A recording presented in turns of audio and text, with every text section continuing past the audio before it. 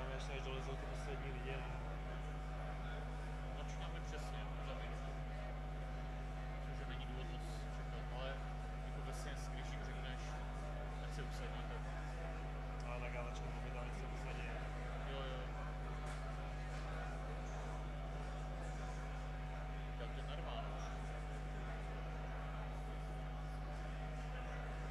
Nebo můžeš třeba vyzvat, že nahoře jsou ještě volná místa, kde můžou projít.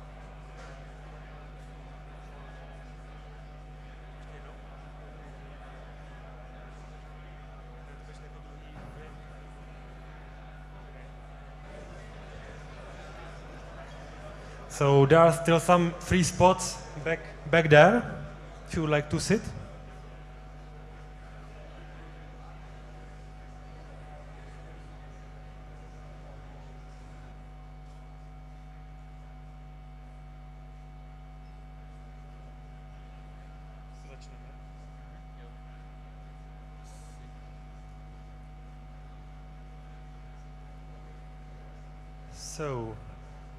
Get a hardware wallet. It's basically an advice given to store cryptocurrencies securely. But are they really secure in reality? And what are the attack vectors the current existing hardware wallets cannot protect us against? How does actually open source and peer review work with respect to hardware development? And what are the other ways how to secure digital assets? Uh, yeah, how to secure digital assets. It will be a topic uh, of our next speaker, Peter Todd, an applied uh, cryptography consultant and Bitcoin developer. Welcome. Thank you. So, software won't let you boot them anymore. You know, it's not that easy to go and install new software on a lot of this hardware. You know, your average, uh, your average phone these days, you probably couldn't. So it kind of concerned me, people talking about this. And, but, you know, more to the point of this talk, well, the reason is really, well, why? You know, what is it about the security model of hardware wallets? And um, as for the tw- Twitter drama, well, that was kind of their response. Uh, yeah. And uh, along with those lines, I'll give you a little disclaimer too, which is um, that's the CTO of Trezor. Just wanted you to know about how much I know about hardware wallets. For what it's worth, my uh, previous line of work was actually analog electronics designer, so I uh, do, do a fair bit of experience with electronics, but more in the sort of squishy analog bits rather than the digital side of things. But, you know, we really got to start with the status quo. Without a hardware wallet, what are you doing when you have a wallet? You know, that's my actual laptop sitting there with a copy of Electrum that I just installed in a new Qubes VM and all that, and that's the screen you get when you start up Electrum. You've got a QR code, you know, you've got various other bits. Go zoom in a bit to go see it better. Yeah, and that's me receiving a payment. And it's important to remember I'm not looking at that, I'm looking at that. And what really matters is how is it that I know that that thing will do what I want? Or put another way, I mean, well, what, what threats are we preventing? And you've really got three big things that can go wrong. You know, you've got my coins just getting stolen, which is namely the bad guy getting a copy of the private key, and then they can just do whatever they want. Probably take the coins. You've got interception, which is, well, if I'm sending money to you, or you're sending money to me, if the bad guy doesn't have the private keys, they might be able to trick me into either sending money to the wrong place or telling you to send money to the wrong place. You know, so for the first one, suppose I have a fresh wallet and I want to go load some more funds on it. I go tell you, hey, you know, my computer says Bitcoin address QP, whatever, whatever, is the right one to go send me money, and you send money. And I go sit there, it looks like it works, and then eventually I realize, oh, wait a second. That was actually the bad guy's address, not my address. Equally, once I have those bitcoins, even if they really are on my computer, if they can fool me into sending it to the wrong place, again, I'm screwed. You expected me to give you money, I accidentally gave the bad guy money. And the third one is just general screw ups. And a really good example of this is actually from a few years ago on uh, blockchain.info, when their wallet, or wait, sorry, I got this wrong, Mount Gox. Sorry, you know, trying to convince myself that Mount Gox isn't that bad. No, yet another one, Mount Gox's screw ups, I believe, was they managed to go send money to an invalid address. You know, quite, at the time, wasn't that much money, but given that Bitcoin was probably worth a dollar back then or something, it's tens of millions of dollars now. And that screw up was ultimately, you know, bad code. The money went to an address that cannot be spent, and thus they lose their Bitcoin. But, you know, most of what we think about is theft and interception. Screw ups is more of a code quality issue. So let's suppose I do get a hardware wallet. Well, ah, there you go. And I, I should, should say, generally, like this is really um, what you call trusted computing. You know, this idea that I can go trust what what my computer is doing, that it will go and obey my orders. You know, and that's really where the hardware wallet concept comes from. So, you know, there's your hardware wallet. And the advice is I go buy one, right? That particular one I bought a couple days ago um, at a sketchy place in Slovenia. And the assumption is that should be an example of trusted computing. You know, that piece of hardware should do what I want it to do and it should tell me what it's doing honestly. Well, I mean, let's look at it. That's the actual box it's in before I opened. Um, it's a little hard to see on the screen, but it's shrink wrapped. But notably, there's no like seal on here. There's no real hologram. It's just you know, piece of shrink wrap that uh, anyone can go and you know put on a box with a couple dollars worth of hardware. And interestingly, if you open it up, it's got a little notice in that notice, you certainly can't read it, but what it really says is, you know, did you notice that this thing isn't sealed? There's no holograms, there's no nothing. Well, inside this, there's supposed to be a little chip that attests its validity to software. And that little chip is supposed to be secure. And that chip shouldn't be possible for the hackers to get into, even in transit. In fact, they go as far to go say that if you were to go buy one of those things from like eBay, it should be safe or you know, for that matter, if you uh, were to go and buy my one, it shouldn't be possible for me to go and do something to this device to go and steal your bitcoins. Interesting claim. Well, I mean, let's look at how does this user experience work. You know, again, that's my uh, my laptop, and that's my device. And you know, when I'm doing stuff on this, I'm hooking this up to my laptop. And with the default Trezor, or sorry, default Ledger software it comes with, and I know Trezor works similarly. Um, don't want purely single ledger out here, but happens to be the device I was using. It's a sort of a dual confirm thing. So let's go through the scenarios. I want you to send me money. I generate an address on, ultimately on this device, and that address pops up on the device and it pops up on my screen. And it goes for asking me, please go verify that the address on the screen matches the address on the device. And then presumably I give you that address somehow, and you send me bitcoins. Well, let's ask for a second. So I'm holding this, but I'm also holding my laptop. How did I send you that address?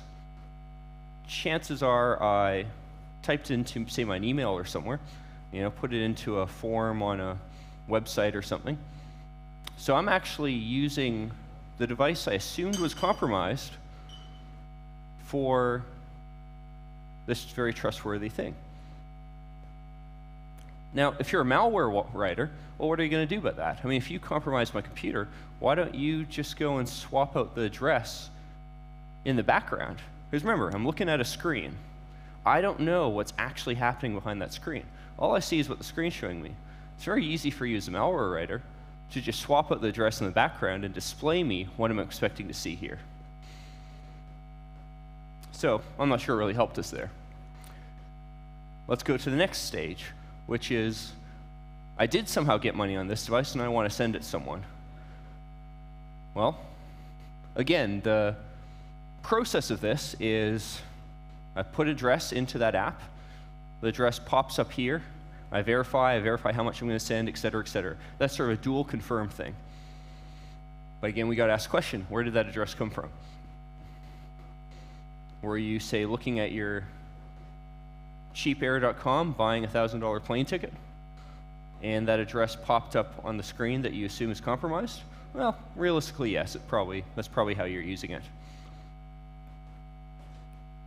And then you get the final thing of, well, ignoring both those two, let's assume that somehow we get money into this device and we're just talking about can the bad guy steal it? Well, I mean, this, the private key is supposed to be in this. It's not on my computer. So until they at least get me to send all my money, maybe they won't be able to steal it. Or, you know, maybe we can make another assumption, which is that I never spend a large enough amount of money that it's worth it for them to do some shenanigans about replacing addresses, and thus I never lose it. Or, you know, maybe we assume that I'm double checking something somewhere along the lines. You know, maybe I go to my exchange and I look it up on their website, and then I go call them and verify the address or a secondary path. Now, um, put up your hands. How many people in this room have done that? All right, I see like, I'll, I'll give, be generous, 10 hands. You know, it's, it's really not very much. And, you know, I do a lot of uh, security consulting as well. And I try to convince exchanges to make this standard processes for large amounts of money. It's, uh, it's an uphill battle. You know, they, some do it, a lot don't. But there's even bigger issues here, which is, well, what happens when you take a ledger apart? And again, I don't want to single out Ledger here. Trezor, same kind of issues, but Ledger is the one I had. So I can pop the back off this thing. It's just a standard injection molded case, a little clips on the back. And when you take it apart, it still works. In fact, I sent a whole bunch of transactions with this in its state. You know, the, the device itself is not physically secure, which also means that that screen the bad guy can do all kinds of stuff to what that screen is. You know, if I intercept your ledger in transit, I can put something in between there. I mean, I can put additional stuff onto that board. I could even redo the board, right? There's all kinds of things I can do with it. And I can put it back together again, because remember, this is just little clips. You know, I mean, I'm holding the same ledger I took apart, and uh, I would challenge you guys to figure out if I'd open this you know, you're probably not going to be able to. And, you know, that's the physical hardware, but here's actual architecture. And for what it's worth, credit goes to uh, Saleem for this. I grabbed it off his website, off his uh, interesting write up on similar issues. But I think the big thing is well, what are the parts here? You know, you've got buttons, you've got a screen, an OLED screen, you've got the USB connection, which is ultimately goes to the computer. You've got the MCU, which is a little computer that runs it, and then you've got the SE, the secure element. But how do you know that any of this actually works that way? I mean, the key is in the SE, but how do you know that? You know, I, the bad guy, I can intercept one in transit, and I mean, I could put an additional box in there, or I could reprogram that little computer in there, I can do anything I want except change the box labeled SE. So let's go through some examples. You know, have you heard about, say, the bad USB attacks? Where someone with a malicious USB device compromises your computer over the USB connection. And in fact, just over that way, you've got a bowl of uh, USB condoms, as they're called, that are supposed to protect against attack. They only allow power through, not data. Well, you're not going to use a USB condom with this. It's got to communicate with your computer somehow. So if I, the bad guy, intercept one of your hardware wallets in, you know, in transit, I could go and make that box take over your computer first. You're not going to know that I just compromised your computer. The other thing is, assuming I can do this, even some of the time, maybe not reliably, I could also program that compromise to then make the software not actually do the verification. Remember, the whole point of this secure element is your computer is supposed to talk to the device and say, hey, are you real?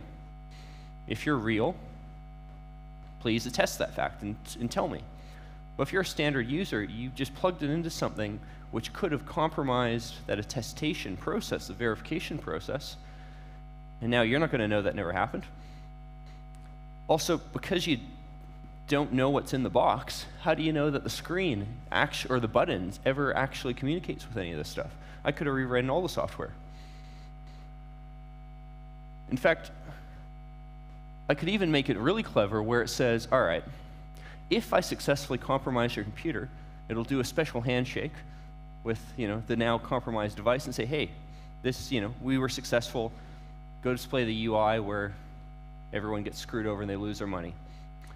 If we're unsuccessful, just pass through everything as normal. So it looks like a normal Trezor and no one notices. You know, there's a lot of, a lot of room here because you haven't actually verified the security of this hardware. And finally, with regard to the screw ups side of things, I mean, let's talk about software quality. You know, here's a notice um, Ledger actually had to go put out uh, a while back, um, August 2nd, where they pushed an update that, funny enough, replaced every Ethereum address for sending with a fixed one. Now, they didn't own the, that address. Doesn't sound like anyone really knows what that address is. And of course, if you sent money to that address, you'd get, you know, it'd get lost, it'd get stolen. So you got to ask yourself, I mean, how did this happen? You know, there's supposed to be a company that has secure process and so on. Well, you know, I don't think it's so much a problem with them per se. I mean, it's a screw up, but people screw up. I think the bigger issue here is what happens when you go and trust your Bitcoin to a proprietary ish device that relatively few people actually go and work on. You know, I mean, look at Bitcoin Core. With tons and tons of contributors, we still screwed up and allowed money to be inflated. You know, you need that kind of peer review to catch these kind of problems. Whereas if you're using a device that's relatively rare, you know, in terms of number of developers working on, or closed source because it's, you know, custom hardware that people aren't able to go hack, or you know, even open source hardware. It's just, but it's made by one company and has like three guys working on releases. There's actually a lot of risks that you potentially have because you're not working on, you know, you're not using a device that has a lot of peer review.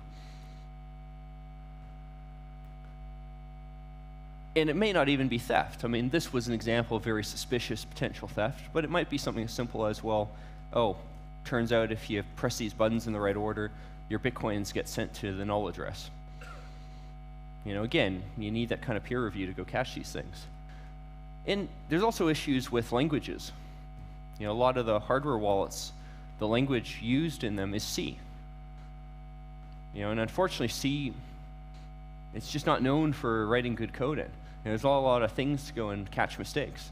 I'm very dubious about how these very anemic microprocessors wind up forcing design choices that ignore modern languages. You know, Trezor's actually interesting to their credit.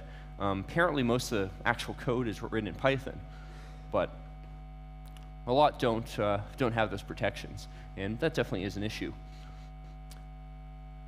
So finally, maybe the last thing to go talk about is like, what are the alternatives?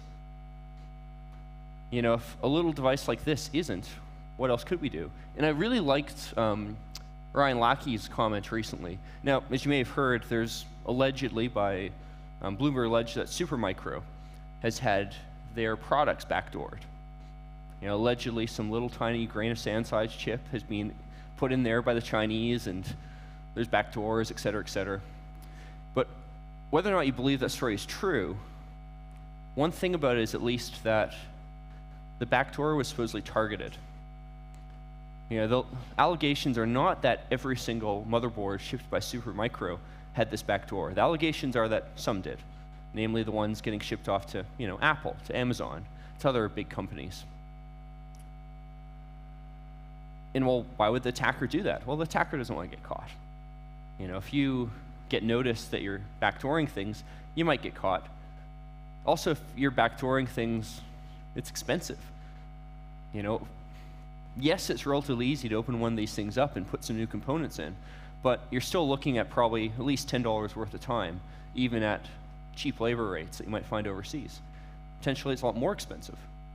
So you want to target your attack to the people who might actually impact. You know, want to target your attack to the victims that you'll earn money off of. Well, when I bought my laptop, I bought my laptop from some random store with cash. Similarly, when I did the Zcash trusted setup, which is now you know supposed to be the basis for you know hundreds of millions of dollars worth of currency, we bought laptops with cash from random stores.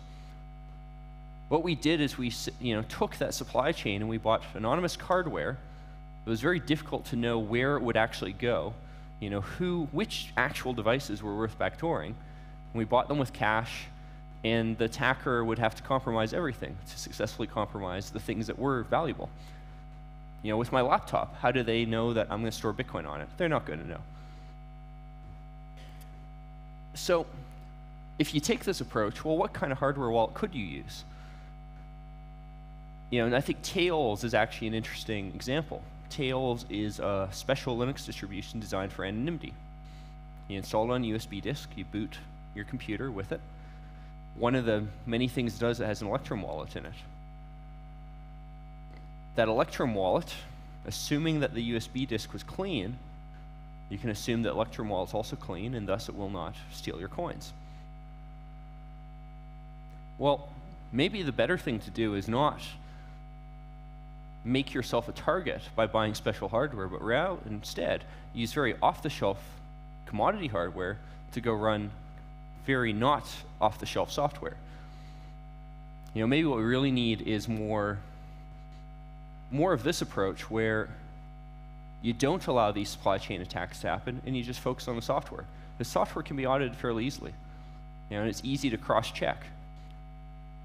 Like if I have a piece of software and I want to convince you that it's safe, or at least that it's the same software as we downloaded in the first place, at least we can cross check our USB keys. It's a lot cheaper to cross check a USB key than laboriously open one of these things, get out your nitric acid etcher, and start looking at the chip. Yet, if that's your threat model, that's the kind of thing you have to go do.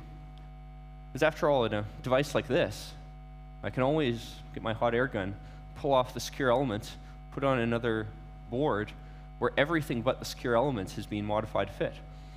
And at scale, the board probably costs 10 bucks. Maybe I'm spending, you know, 50 bucks worth of time intercepting that. And probably one out of 10 times, that's going to wind up in the hands of a Bitcoin user who actually uses it and thus loses their coins. You know, so have we seen these attacks yet? Well, actually, yes, kind of. Um, these things do show up on eBay. And there's a very funny attack that happens, which is so in the box itself, it comes with a little card. And the card, you're supposed to write down your private key. You know, write down the, the 12 words. Well, people get these things, the words are already filled out.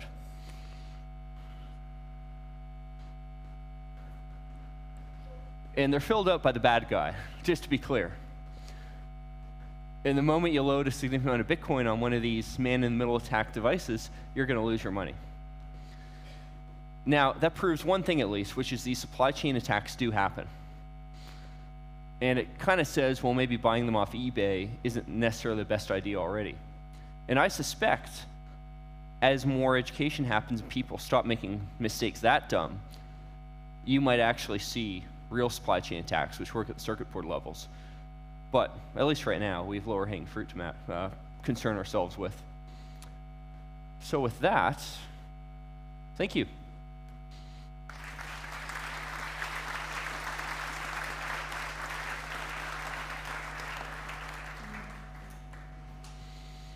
So thank you very much for your talk. Now we have time for questions. Can't see anybody this way? Okay.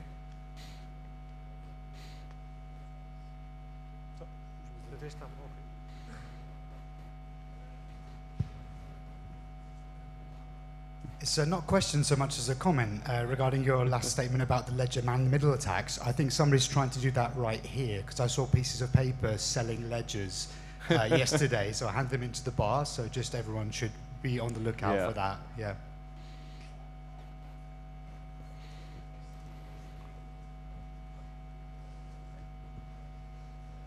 Uh, I have a question about the seal, uh, because do you think that if the ledger would be like factory sealed somehow with the uh, hologram or something, would it solve anything? Or It's you know, it in theory it could. Um, if you knew you actually got a device that they manufactured, that's definitely a much better position to be in. The problem is actually knowing that is difficult. And the reason it's difficult is actually well illustrated by a tweet of mine that I, uh, come to think of it, probably should add to the slides for the next time I give this talk, where I got a YubiKey. And the YubiKey was factory sealed with a little hologram and all that, and uh, was very cool. And thought, you know, I wonder if I can get that thing out of there. So I got my tweezers out and I kind of dug into the little thing and managed to go slip out the YubiKey past the hologram. Then I put in a different YubiKey without touching the hologram at all. Well, all right, so the hologram was lifted a little bit, but if you're going to notice that, you've got to look very closely. How many users are actually going to sit there very carefully inspecting every little seam of their package, every little hologram shining up through the light? I mean, obviously, some will. I mean, 10 of you raise your hands when you double checked your Bitcoin addresses, but a lot of users won't. And it's just difficult to get to the point where these things actually matter. You know, I've got a Trezor in my backpack as well, and it's better, but the holograms is just, you know, two little things that say Trezor. I'm pretty sure if I was a bad guy with the ability to go and man in the middle attack a supply chain, you know, at an even reasonably significant level, I could probably just call up some suppliers, you know, in China or Taiwan or where the, where the heck holograms are made these days, give them some photos that and get some holograms that looked identical. Or even worse, I wouldn't even bother doing that. I'd just get holograms that didn't look identical and put them on there and hope no one notices the difference. Like one of um, Saleem's very correct uh, things that he said about uh, Ledger was the photos they had of the device on the website to see is this a real device or not weren't very high resolution. You know, YubiKey is the same thing. How do I know what a YubiKey is even supposed to look like when I buy it? I don't. You know, yes, this could fix these problems, but I'm just not seeing people actually do this.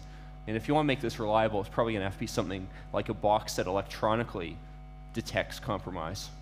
And that's expensive.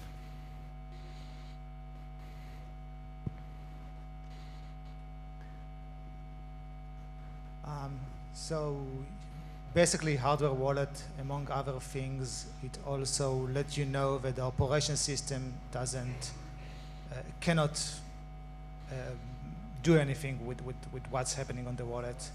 So it, it, it uh, and if you have malware of, your computer, then it doesn't touch what's happening on the wallet.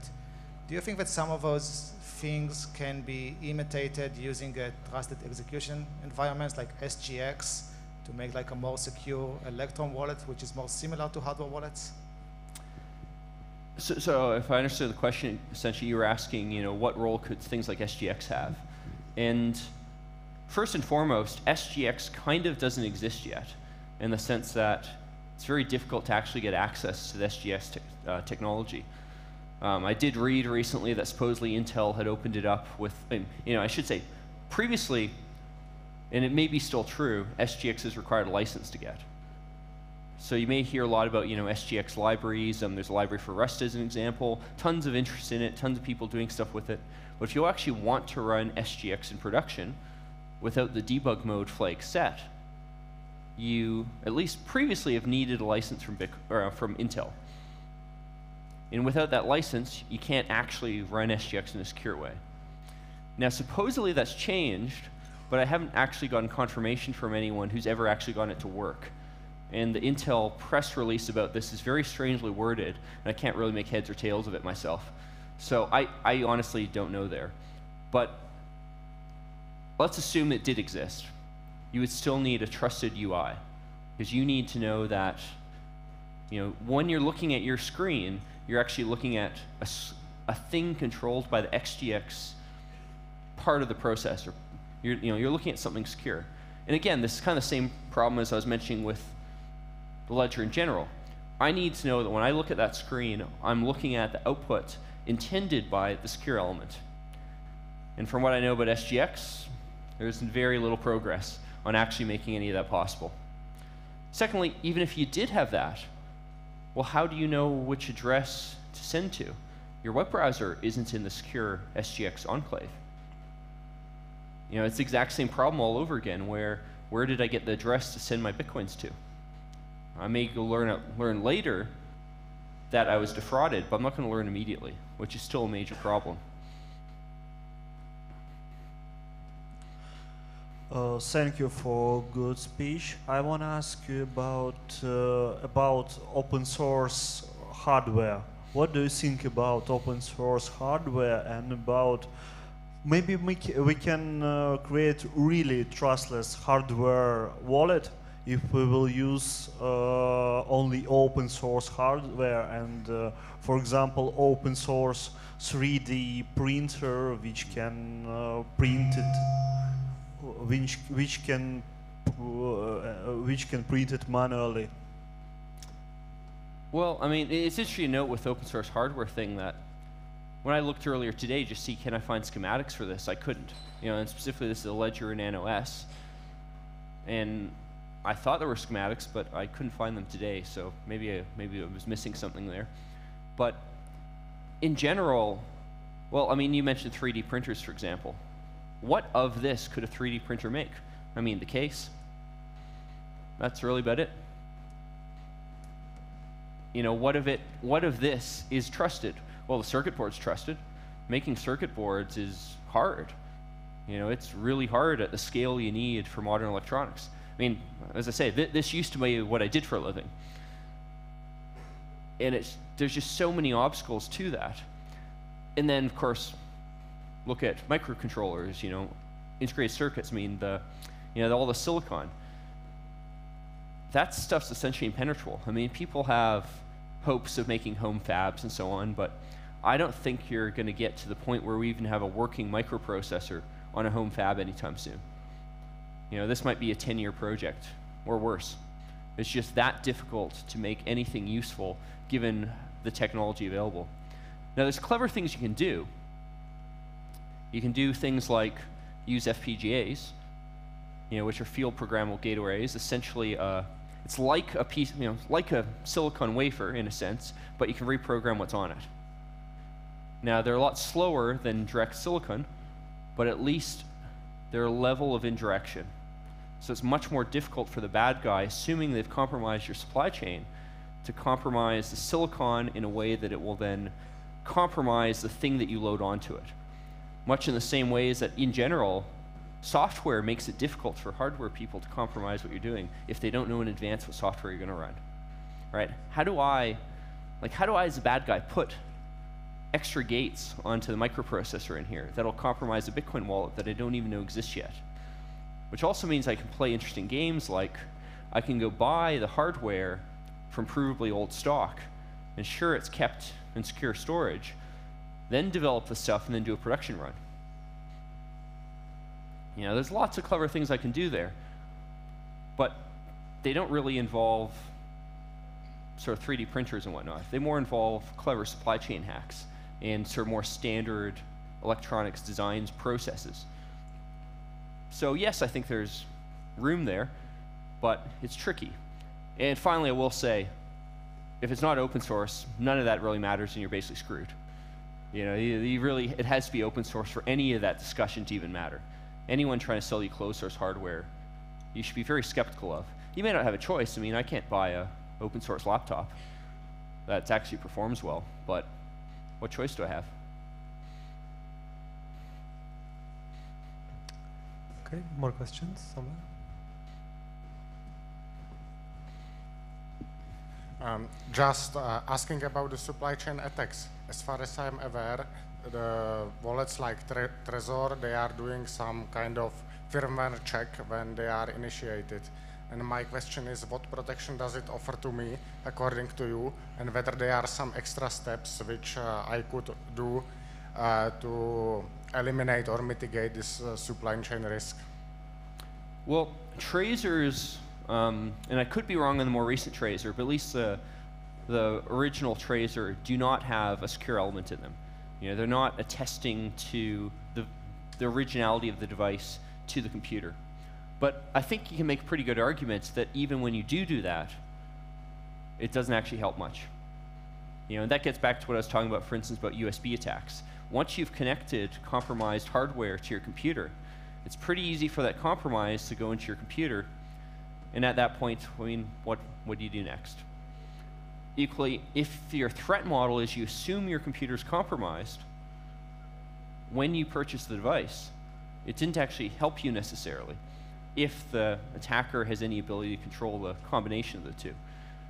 You know, and maybe the way to go put it is this probably is better, but you still got to ask the question, is this really better than just buying a separate laptop with off-the-shelf hardware? You know, the user interface will be better, the processing power available is better, and so on. So it's, you know, it's not a clear-cut thing, and I would be very dubious about people who push secure elements that hard. And the other thing with secure element is the chips available to actually implement them, you need NDAs. You know, nearly every, I mean, I really should say nearly, every example I've ever seen of a reasonably useful secure element, you've needed an NDA to get access to the data sheet to know how to program it. Well, once you have your NDA, how do then I let you as an open source developer collaborate with me? Are you going to go get an NDA? I mean, probably not. So that radically restricts your pool of people who can actually work on this stuff. Whereas Trezor, their philosophy so far has been don't use special hardware, use something that people can inspect fully. And, you know, given all the considerations, that may be the right answer.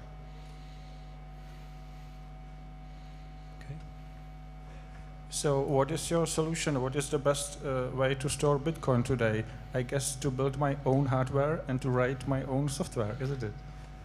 I mean, when you say best, you got to talk about trade-offs, right? Like the, the, the badge, you know, that they gave us. That is probably the worst Bitcoin hardware wallet I've ever seen in my life. And the reason why it's so bad is all it is is little off-the-shelf NFC chips and a button.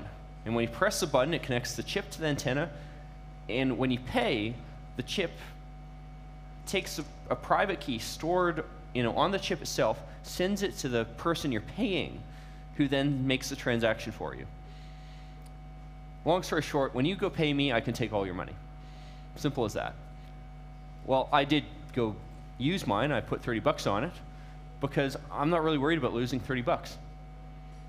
You know, it just it doesn't really matter that much. It's not likely enough to happen.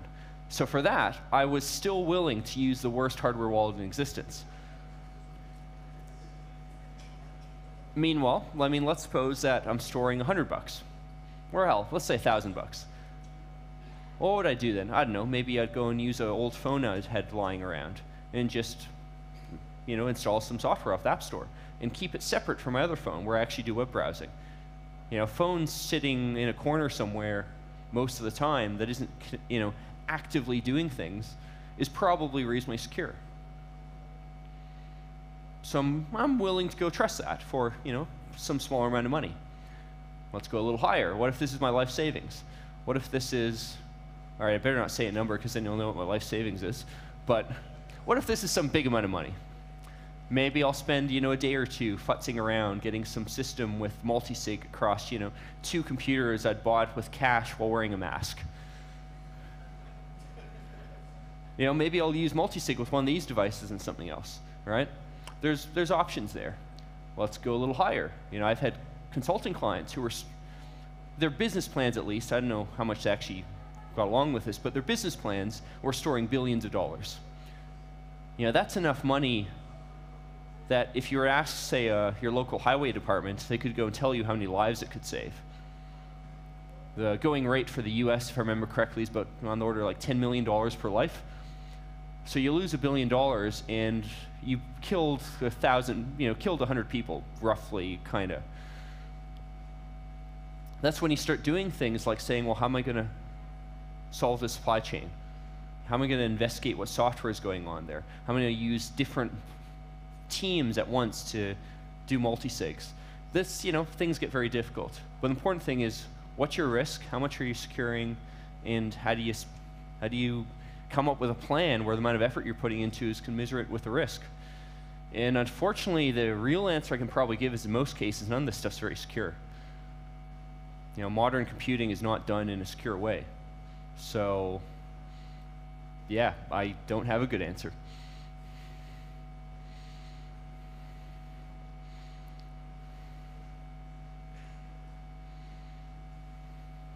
I was also thinking of like when you said using off-the-shelf hardware. What about something like a Raspberry Pi or like a smaller, more portable device that's also mass-produced, not only used for Bitcoin? You can buy it with cash also in a shop, pretty much anywhere. No, I mean, I think Raspberry Pis are potentially a great idea. Um, one annoying thing about Raspberry Pi is it doesn't have the user interface. You know, it doesn't have a keyboard, doesn't have a monitor. And those are, in theory, potential avenues of attack. But there's a lot of places you go buy a keyboard and monitor from, so I'm not as worried about that. And I'll, I'll say, I mean, as an example, I personally, I've used Raspberry Pis to get data off things that I suspected might be compromised. You know, it's a slightly different use case, but it's more, it's an off-the-shelf thing, it's really cheap, it's unlike what the attacker is probably expecting. And once it's done, I can turn it off and it'll probably not have any persistent state.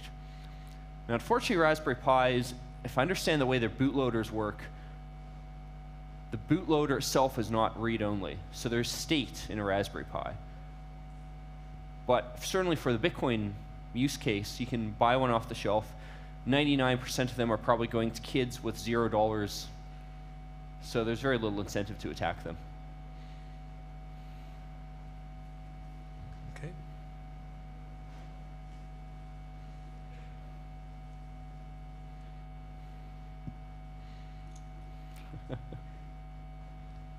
Uh, I agree with your uh, attack vectors on the hardware wallets, but I also see a great array of uh, attack vectors to like mobile phones, Raspberry Pis, and laptops.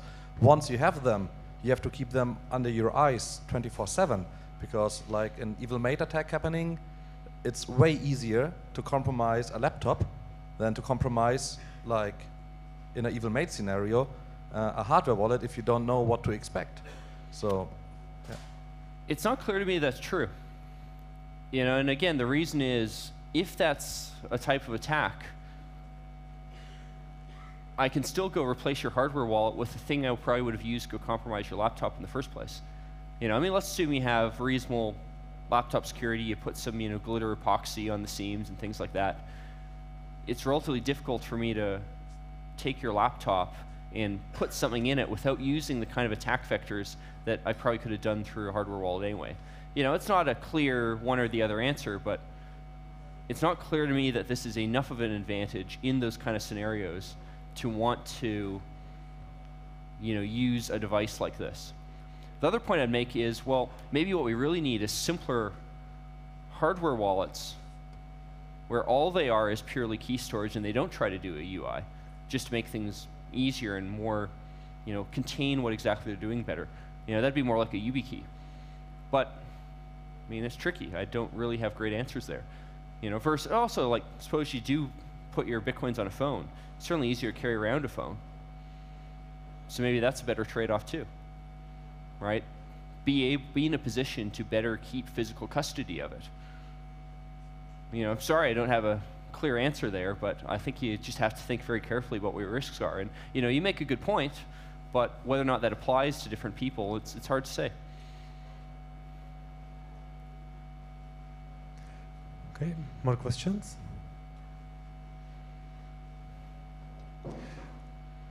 Okay.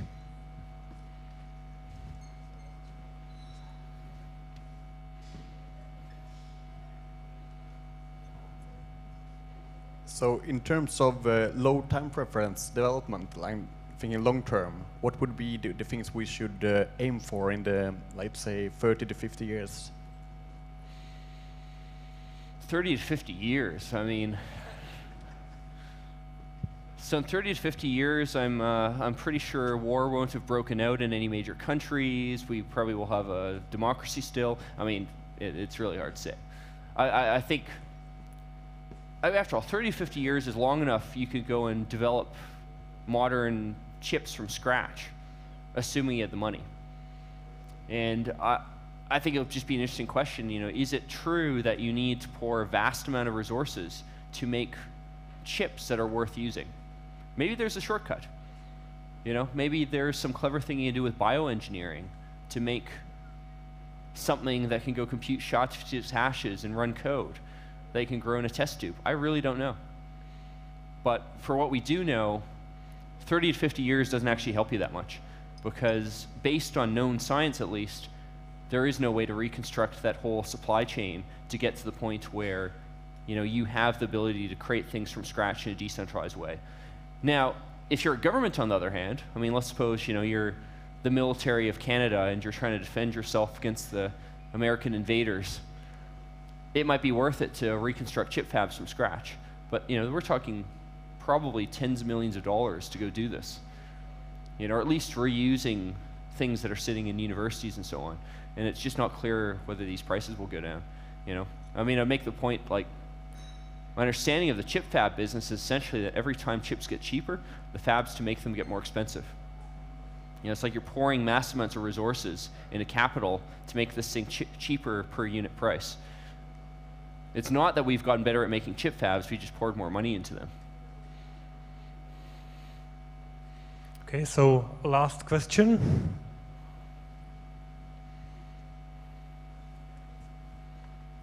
Hi, Peter. Um, I saw the live stream or some of it from last year here, and you were on a panel and you made a comment that wasn't followed up on by anybody, and it stuck in my head. It was about Bitcoin, and you said uh, if we eliminate cash, then Bitcoin's fucked, or something like that. and then there was nothing more said about it because the panel continued. I was wondering if you could elaborate on that point, if you think it's useful. Yeah, so uh, yeah, so that's kind of a separate topic, but essentially, you know, if, if you eliminate cash, is Bitcoin fucked? And uh, I'm pretty sure I use the word fucked too, but I think the answer to that is basically, yeah. I mean, how are you going to go buy your Bitcoin if every means of giving value to me is controlled? You know, yes, you can go work for me, you can do something useful for me, but that just doesn't scale very well. You know, I need some way of getting significant amount of money from you to go and give me a reason to then give you bitcoins back. Now, maybe if you kind of bootstrap to the point where Bitcoin is sort of an economy, and there's a full circular flow of Bitcoin, that that argument wouldn't be true. But if you're not at that point, it's not clear how it survives without the ability to buy and sell things anonymously that aren't Bitcoin. You know, it's, it's tricky. I'm, I'm not that hopeful in that kind of scenario. And after all, like what's kind of coming down the pipeline is there are proposals and efforts to do things like make owning wealth in general that's unregistered illegal. You know, there are people who want to make owning an artwork to be something you have to go fill out a whole bunch of forms on to make sure that the government knows where that artwork is, knows who to contact to go seize it, and knows where it's going to go the next time you go sell it. And in that kind of environment, well, what are you going to trade to get your Bitcoin in the first place?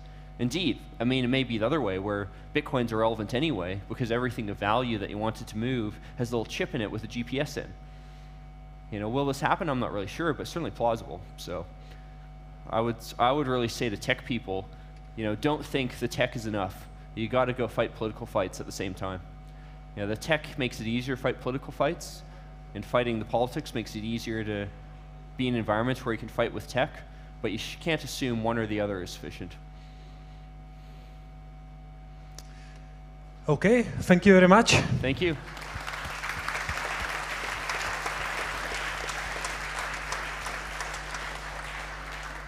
And also let me announce that there will be a charity auction of uh, golden Ross Ulbricht uh, coin in 10 minutes from 8 p.m. Here in Slévárna.